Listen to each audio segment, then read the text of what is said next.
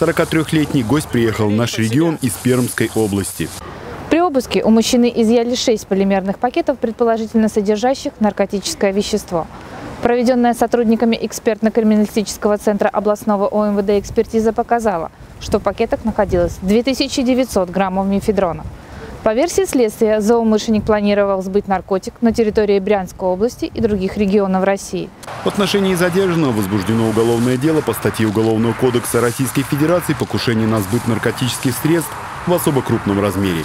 Если вину подозреваемого докажут, наркокурьеру грозит наказание до пожизненного лишения свободы. Вердикта суда мужчина будет дожидаться в следственном изоляторе. Алексей Соболь, события Выгнический район.